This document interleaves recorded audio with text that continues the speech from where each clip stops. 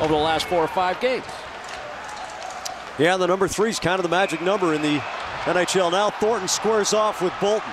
These are two veteran battlers, and this could be a good one.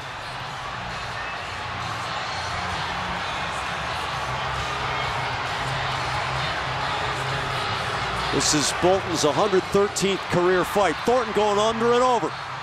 Boulton answering. Off come the elbow pads. Thornton a couple of jabs. Boulton comes back, tries to shake his arm loose, stuck in the sweater. They tangle. Thornton works the left side. The sweater coming off of Boulton. You can see it's tied down by the mandatory fight strap.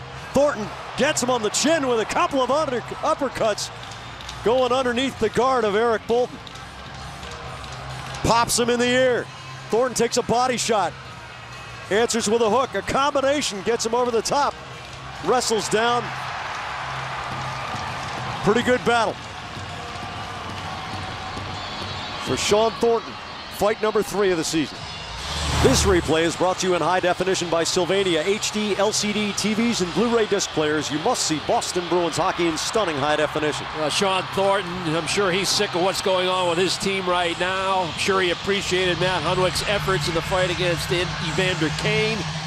But now you're talking about a couple of guys that really make their living dropping the gloves at the right time, and Thornton takes on Eric Boulton and gets the better of him.